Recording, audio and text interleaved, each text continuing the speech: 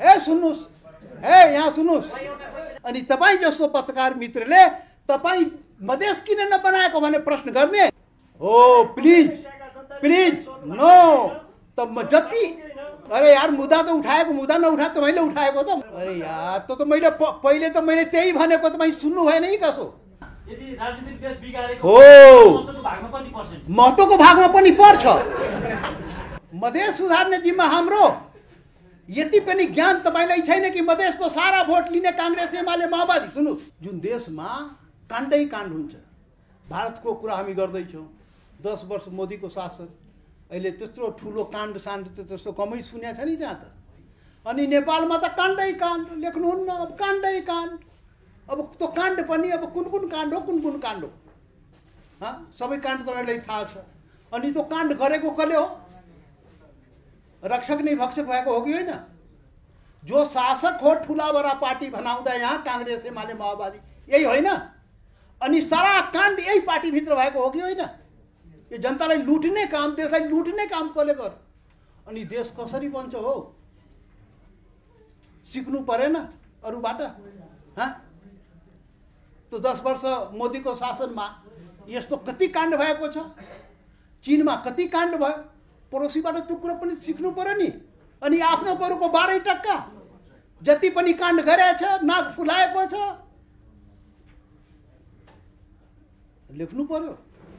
देश दुर्गतिको कारण। अनि देश समृद्धि कसरी त समृद्धितर्फ कसरी जान्छ?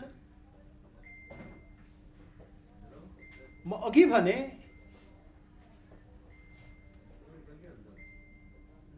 यो नेपाल जबसम्म सबै नेपालीको हुँदैन बन्दैन तबसम्म नेपाल बन्दैन के? यो पनि कटु सत्य हो कर्वा सच।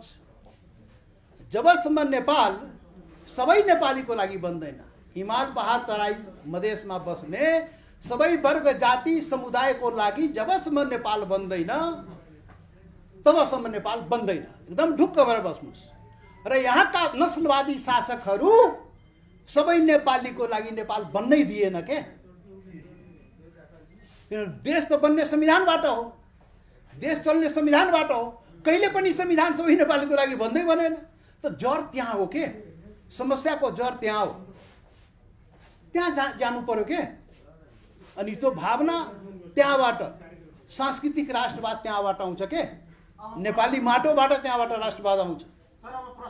त्यसैले कति हतार भयो यार प्रश्न गर्नु तपाईँलाई? त्यसैले सरकारका विरुद्ध राजनीतिका विरुद्ध नेपाली समाजका विरुद्ध पत्रकारका विरुद्ध होइन? पत्रकार बाहेक त सम्पूर्ण तपाईँ हुनुहुन्थ्यो नि। तपाईँका सांसदहरू संसदमा छन्। ती सांसदहरूको तपाईँ कमान्डर हिजो सरकारको नेतृत्व गर्नुभयो। अझै पनि किन भइरहेको छैन भनेर हामीलाई प्रश्न गर्दै हुनुहुन्छ। तपाईँले जवाफ दिनुपर्ने हो नि। किन नभएको? म पहिलो कुरा त के म कसैको विरोध गरेको होइन यही हो। यो मानसिकतामा सुधार ल्याउनु पर्यो भने मैले कसैको विरोध हो यो। यो त सुन्नु, पहिला- म। त्यही जवाब त। तपाईँलाई एउटा मात्रै प्रश्न हो मिडियालाई कि सत्य तथ्य कुरा लेख्नुहोस् त्यति मात्रै हो सल्लाह। र बाँकी बाँकी कुरा त यो देशमा किन भइरहेको छ नि त्यो प्रश्न मैले उठाएको त्यो त। प्रश्न पनि उठाए कारण पनि बताए समाधानको उपाय पनि बताएको हो। सुन्नु भएन ठिक छ है कसो? मैले किन भएन कारण पनि बताएँ र समाधानका उपाय पनि बताएँ? लेख्न सक्नु भने लेख्नुहोस् लेख्न मन लाग्यो नलेख्नुहोस् तर मैले सबै कुरा भनेको नि त। र जहाँसम्म मेरो र मेरो पार्टीको कुरा गर्नुहुन्छ यो नीति निर्माणको तहमा हा मेरो पार्टी या मेरो त्यो भूमिका छैन के? यो ढाकछोप गर्ने काम फेरि नगर्नुहोस् राजेन्द्र महतोको या राजेन्द्र महतोले के अरे रहेको पार्टीले यो देशको नीति निर्माणमा प्रभावकारी भूमिका हस्तक्षेपकारी भूमिका या नीति नियम बनाइदिने भूमिकामा छैन के? त्यो भूमिका इमान्दारीसँग यो देशमा अहिलेको अवस्थामा काङ्ग्रेस एमाले माओवादी यो तिनवटा हो। तिनवटा मिलेपछि जे पनि हुन्छ। त्यसैले त्यसैले त्यसलाई यही रूपमा बुझ्नु पर्यो मध्य प्रदेशको विशेष गरेर चाहिँ मुसर बस्तीका व्यक्तिहरूले नागरिकता नपाएको अवस्था नागरिकता बनाउनको लागि पनि उनीहरूले खेलेको उनीहरूले पाउन नसकेको शरीरमा पनि खर्च गर्न नसकेको अवस्थामा त्यस्ता व्यक्तिहरूको आवाज उठाउनुपर्ने तपाईँहरूले चाहिँ पत्रकारले हाम्रो समाचार लेखेन भनिराख्नु भएको छ क्या? त्यहाँको समाचार मैले लेखेको छु सर। त्यस बिल्कुल तपाईँ-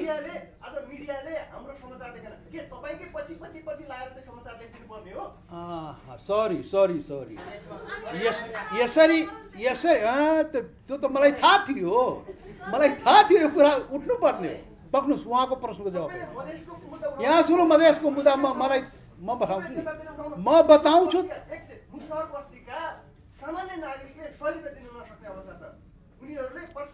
अरे म भन्छु त्यो कुरा तपाईँ भनिसक्नुभयो नि। म भनिरहेको छु। अब सुन्नु सुन्नुहोस्। अँ फेरि सत्य कुरा भन्दाखेरि बडा बडा पिरो लाग्यो तपाईँहरूलाई। त्यसो नभन्नुहोस्। मैले पहिलो कुरा के भने सबै मिडियाले एकै खाले काम गर्छ त्यो पनि होइन। पहिलो अर्को अर्को कुरा हेर्नुहोस्। मैले जुन कुरा भने नि मैले जुन भनेको कुरा तपाईँले यदि ठिक लागेको छ भने लेख्नुहोस्। बायस नहुनुहोस् त मैले भने हो के? यहाँबाट बायसनेस छ। तपाईँले के भन्नुभयो भने नि मिडियाले गर्दा देश बिगार्यो। मिडियाले सबै ठाउँमा प्रश्न उठाइरहेका छन्। मिडिया मिडिया नै नै नै तपाईँ फेरि- अरे न। यार त त मैले पहिले त मैले त्यही भनेको तपाईँ सुन्नु भएन कि कसो? पहिले त राजनीतिले देश बिगार राजनीति त नेताले गर्ने तपाईँले गर्ने हो र। हो। महत्त्वको भागमा पनि पर्छ। महत्त्वको भागमा पनि पर्छ। यो पनि ढाकछोप गर्ने कुरा हो। बच्ने कुरा हो बचाउने कुरा हो। यो पनि बचाउने कुरा हो। यो महत्त्वको भागमा पर्छ। त्यो त ठिकै छ जो जति छ सबैले भा भागमा लिनुपर्छ नि। तर म अघि के भने भने महत्त्वले इन्टरभेन गर्न सक्ने अवस्थाको पार्टी र व्यक्तित्व नभएकोले आफ्नो आफ्नो असन्तुष्टि मात्रै राख्न सक्ने अवस्थामा छ के? पहिलो कुरा। र अब मधेसको कुरामा म मधेसको कुरा गर्छु। फेरि मधेसको जनता। यहाँ देशको कुरा गरेको थिएँ मधेसको गर्छु। अहँ, म मधेस ए सुन्नुहोस् न। अब मधेसको गर्छु। सुधार्ने हो, सर। अरे म त्यो ठाउँ सुधार्ने हाम्रो काम हो। ए सुन्नुहोस्। ए यहाँ सुन्नुहोस् नै नै नै सुन्नुहोस् पहिले उहाँको नै नै नै नै, सुन्नुहोस् मधेस सुधार्ने जिम्मा हाम्रो। यति पनि ज्ञान तपाईँलाई छैन कि मधेसको सारा भोट लिने काङ्ग्रेस एमाले माओवादी सुन्नुहोस् काङ्ग्रेस यो यो देशको नब्बे पर्सेन्ट मत चाहिँ लिने मधेसको पनि अधिकांश मत र सिट लिने काङ्ग्रेस एमाले माओवादी हो। अनि मधेस सुधार्ने चाहिँ हामी। सारा शक्ति लिने काङ्ग्रेस एमाले माओवादी। अनि तपाईँ जस्तो पत्रकार मित्रले तपाईँ मधेस किन नबनाएको भने प्रश्न गर्ने? हो प्लिज प्लिज नो त म जति जति ताकत हामीलाई दियो त्यति त हामी त गरिरहेकै हो नि त। यो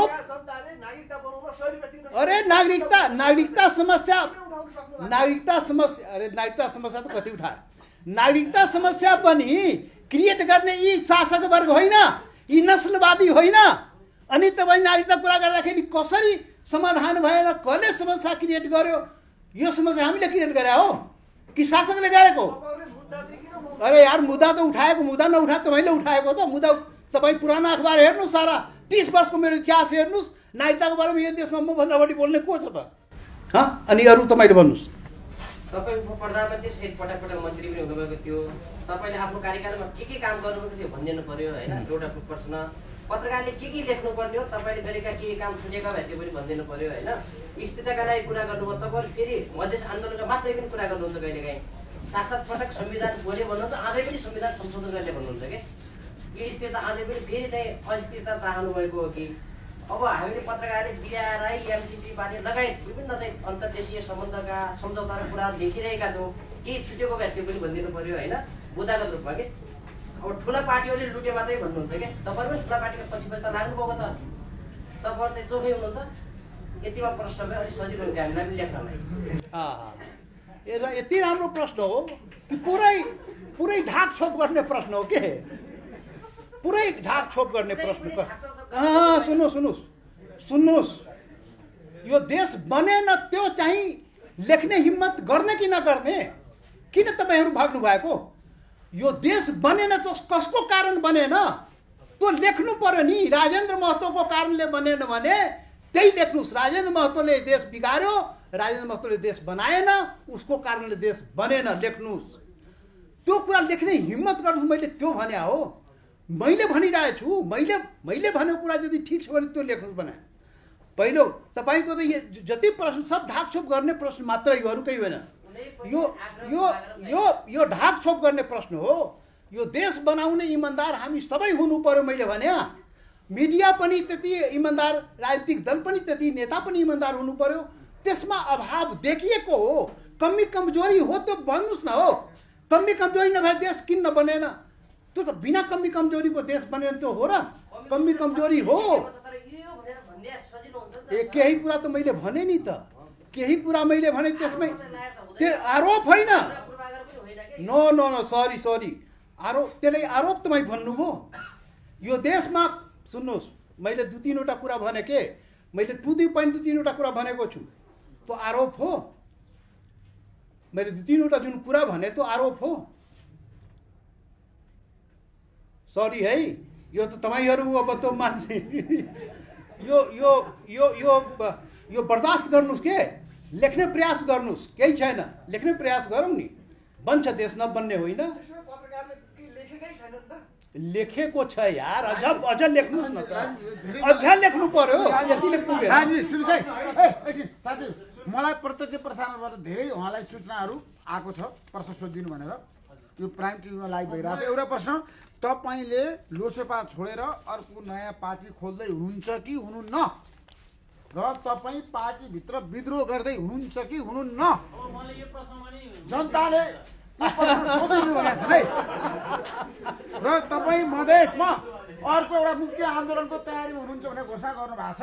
त्यो मुक्ति आन्दोलन कस्तो हुन्छ? बताउनुहोस्। आज त्यसको लागि त अर्को राख्या हो?